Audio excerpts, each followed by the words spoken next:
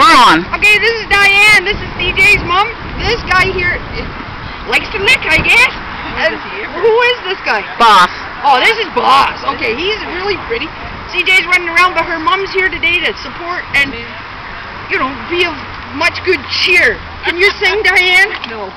Okay, Diane doesn't sing. Do you do you show your boobs or anything? do you, No, do, you do a leg no, thing? No, None of that stuff. I just babysit horses and get licked.